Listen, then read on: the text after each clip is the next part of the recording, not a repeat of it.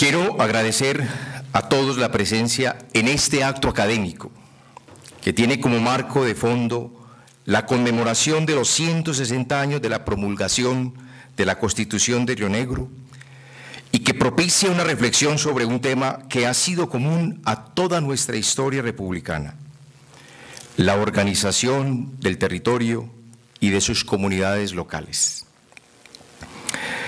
Y decimos lo anterior porque esta Carta Constitucional no solo es un reflejo del momento político de Colombia a mediados del siglo XIX, sino que puede decirse es un referente para comprender la división administrativa del país y la forma en que la tensión centro-periferia ha sido resuelta según el momento histórico. Dentro de ellas, por supuesto, la descentralización del poder, el federalismo, las autonomías regionales y el papel del Estado central en la gestión del poder público,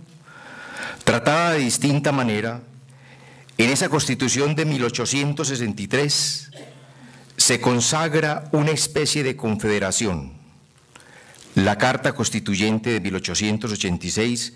que estableció un régimen centralizado con descentralización administrativa,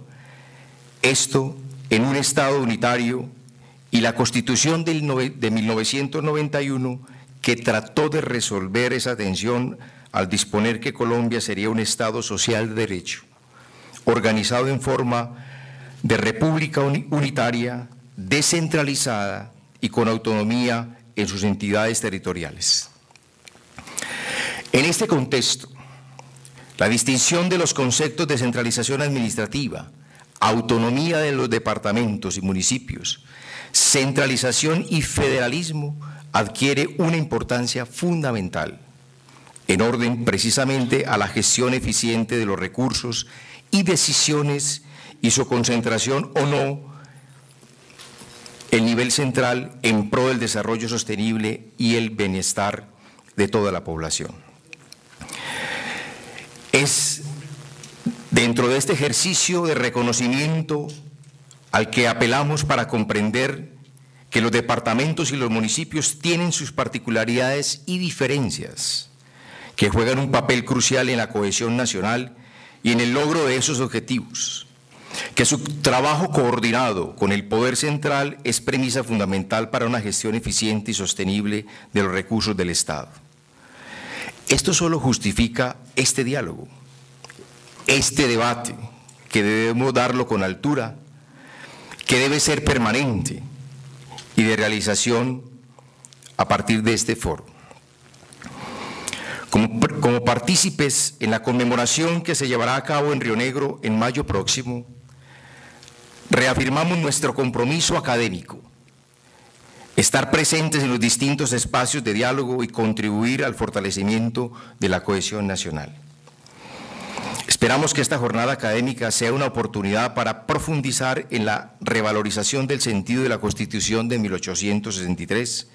que nos invita a considerar a las regiones y departamentos como fundamentos clave del progreso de nuestra nación. Confiamos en que este evento nos permitirá reafirmar la importancia de la unidad nacional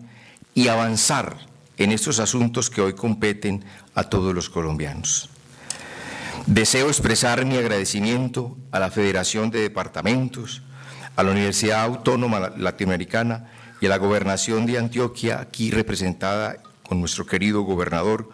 por auspiciar este evento de gran relevancia para el país. La UPB ha sido, es y seguirá siendo esa, ese ágora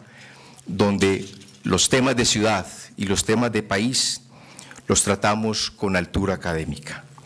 Sean bienvenidos todos a la Universidad Pontificia Bolivariana. Muchas gracias.